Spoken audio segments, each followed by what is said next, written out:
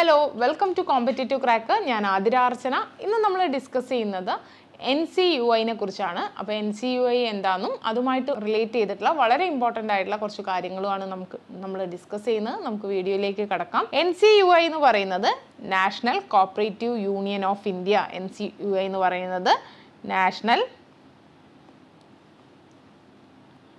cooperative union of India apex national level apex body in cooperative management ആണ് N C U A എന്ന് പറയുന്നത്. Establish ചെയ്തത് ആയിരത്തി തൊള്ളായിരത്തി ഇരുപത്തി ഒൻപതിലാണ് അപ്പോൾ N C U I national cooperative union of India ആണ്.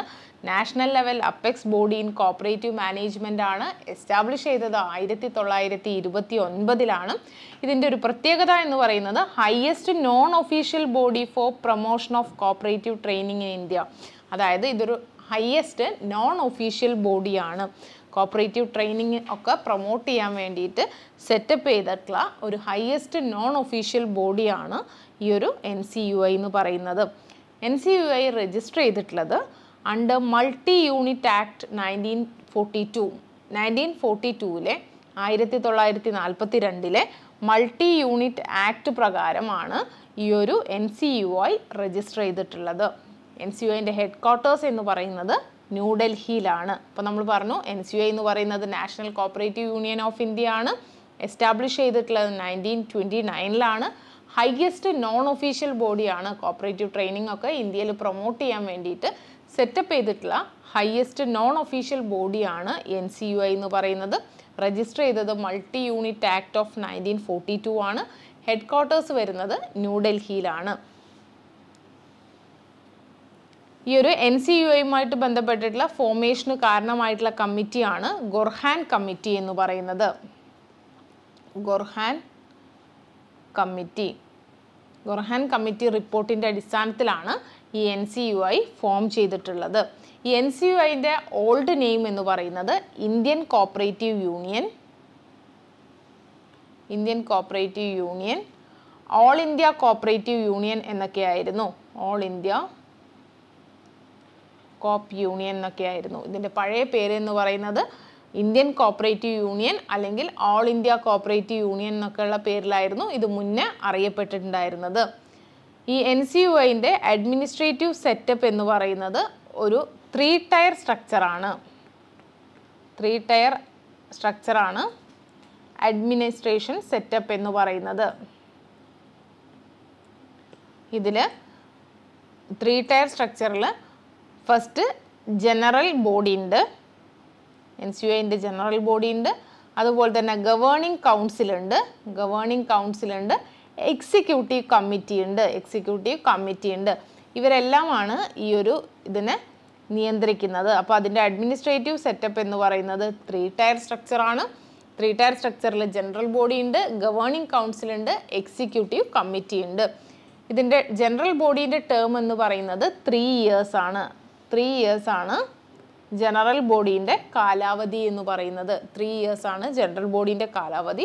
അൾട്ടിമേറ്റ് അതോറിറ്റിയാണ് ജനറൽ ബോഡി എന്നുള്ളത്. ഇതിന്റെ അൾട്ടിമേറ്റ് അതോറിറ്റിയാണ് ജനറൽ ബോഡി പിന്നെ അതുപോലെ തന്നെ member of N C U I എന്ന് പറയുന്നത്. ആരൊക്കെയാണ് എൻ സി യു ഐന്റെ മെമ്പേഴ്സ് എന്ന് പറയുന്നത്? എല്ലാ സ്റ്റേറ്റ് കോപ്പറേറ്റീവ് യൂണിയനും എൻ സി യു യിലെ മെമ്പറാണ്. പിന്നെ അതുപോലെ തന്നെ state level and national level federations മെമ്പേഴ്സാണ്. Government of India മെമ്പറാണ്. റിസർവ് ബാങ്ക് ഓഫ് ഇന്ത്യ മെമ്പറാണ്. കോപ്പറേറ്റീവ് യൂണിയൻ ടെറിട്ടറീസ് ഇതിന്റെ മെമ്പേഴ്സാണ്. അപ്പോൾ ഇതൊക്കെയാണ് എൻ സി യു ഐന്റെ മെമ്പർ എന്ന് മെമ്പർഷിപ്പ് ആർക്കൊക്കെയാണെന്നാണ്. എല്ലാ സ്റ്റേറ്റ് കോപ്പറേറ്റീവ് യൂണിയനും മെമ്പറാണ്. State level and national level federations മെമ്പറാണ്. ഗവൺമെന്റ് ഓഫ് ഇന്ത്യ മെമ്പറാണ്. റിസർവ് ബാങ്ക് മെമ്പറാണ്. കോപ്പറേറ്റീവ് യൂണിയൻ ടെറിട്ടറീസ് മെമ്പറാണ്.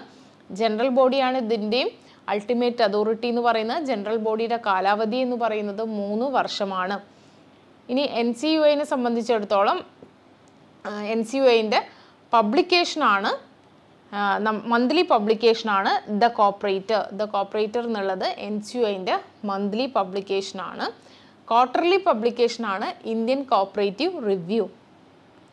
Indian cooperative review ആണ് ഇതിന്റെ ക്വാർട്ടർലി പബ്ലിക്കേഷൻ ഇതിന്റെ അഡ്മിനിസ്ട്രേറ്റീവ് ഹെഡ് എന്ന് പറയുന്നത് പ്രസിഡന്റ് ആണ്. എൻ സി യു എന്റെ അഡ്മിനിസ്ട്രേറ്റീവ് ഹെഡ് എന്ന് പറയുന്നത് പ്രസിഡന്റ് ആണ്. ജനറൽ ബോഡിയാണ് അൾട്ടിമേറ്റ് അതോറിറ്റി അഡ്മിനിസ്ട്രേറ്റീവ് ഹെഡ് എന്ന് പറയുന്നത് പ്രസിഡന്റ് ആണ്. ഫസ്റ്റ് സെക്രട്ടറി എന്ന് പറയുന്നത് പ്രൊഫസർ എച്ച് എൽ ഹാജിയാണ് പ്രൊഫസർ എച്ച് എൽ ഹാജിയാണ് ഇതിന്റെ ഫസ്റ്റ് സെക്രട്ടറി എന്ന് പറയുന്നത്. ഫസ്റ്റ് പ്രസിഡന്റ് എന്ന് പറയുന്നത് ലാലുബായ് സമൽദാസ് ഗുപ്തയാണ്. ലാലുബായ് സമൽദാസ് ഗുപ്തയാണ് ഇതിന്റെ ഫസ്റ്റ് പ്രസിഡന്റ് എന്ന് പറയുന്നത്. അഡ്മിനിസ്ട്രേറ്റീവ് ഹെഡാണ് നമ്മൾ പറഞ്ഞു. പ്രസിഡന്റ് എന്ന് പറയുന്നത് അഡ്മിനിസ്ട്രേറ്റീവ് ഹെഡാണ് എൻ സി യുടെ മോട്ടോ എന്ന് പറയുന്നത് make voice of cooperation as strong as ever അതായത് സഹകരണത്തിന്റെ ശബ്ദം സ്ട്രോങ് ആയിട്ട് പ്രോ പറയുക എന്നുള്ളതാണ് ഈ ഒരു എൻ സി യു ഐന്റെ മോട്ടോ എന്ന് പറയുന്നത്. Make voice of cooperation as strong as ever അപ്പോൾ ഇതാണ് എൻ സി യു ഐന്റെ മോട്ടോ എന്ന് പറയുന്നത്. നമ്മൾ കോപ്പറേറ്റീവ് ബാങ്ക് എക്സാമുമായിട്ട് ബന്ധപ്പെട്ട് കോമ്പറ്റേറ്റീവ് ക്രാക്കറിൽ സി എസ് സി ബിക്ക് വേണ്ടി ഒരു പുതിയ ബാച്ച് സ്റ്റാർട്ട് ചെയ്യുന്നുണ്ട്. നമുക്കറിയാം സി എസ് സി ബി എക്സാമിന് വളരെ ചിട്ടയായിട്ടുള്ള പഠനം നമുക്ക് ആവശ്യമാണ്. അപ്പോൾ നിങ്ങളെ സഹായിക്കുന്നതിന് വേണ്ടിയിട്ട് നമ്മുടെ സിലബസ് അനുസരിച്ചിട്ടുള്ള റെക്കോർഡഡ് ക്ലാസ്സുകൾ അപ്ഡേറ്റഡ് ആയിട്ടുള്ള റെക്കോർഡഡ് ക്ലാസ്സുകൾ പിന്നെ അതുപോലെ തന്നെ live sessions weekly model exams special mentorship programme കുറി ഹാൻഡ്ലിങ്ങും ഡെയിലി വർക്ക്സ് ഔട്ടും ഒക്കെ അടങ്ങിയിട്ടുള്ള നമ്മുടെ പുതിയ C S C B batch ആരംഭിക്കുകയാണ്. അപ്പോൾ ജോയിൻ ചെയ്യുക. കോമ്പറ്റേറ്റീവ് ക്രാക്കറിനോടൊപ്പം നിങ്ങളുടെ സി എസ് സി ബി പഠനം നല്ല രീതിയിൽ മുന്നോട്ട് കൊണ്ടുപോകാം. നിങ്ങൾക്ക് ഈ ഒരു വർഷം C S C B exam crack ചെയ്യാൻ ഞങ്ങൾ നിങ്ങളുടെ കൂടെ ഉണ്ട്. അപ്പോൾ ഈ ഒരു വീഡിയോ നിങ്ങൾക്ക് യൂസ്ഫുൾ ആയെന്ന് തോന്നുന്നു. ഇതുപോലുള്ള വീഡിയോസിന് വേണ്ടി നമ്മുടെ ചാനൽ സബ്സ്ക്രൈബ് ചെയ്യുക. താങ്ക്